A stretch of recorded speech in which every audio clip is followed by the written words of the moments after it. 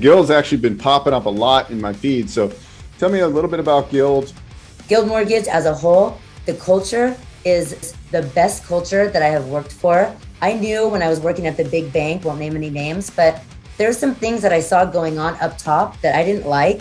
Guild gives you that flexibility. They also understand that the team concept is really important, which for those of you listening, the team concept is so good to have somebody that has a processor, a marketing person. You don't want a lender that you only talk to them the whole time. They're always picking up your phone call. That means they don't do enough business. Our interest rates are excellent, products are um, excellent.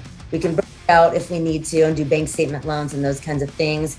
And uh, everybody from the CEO down is just such an inspiration to me. And I am not going anywhere. So, Guild is awesome.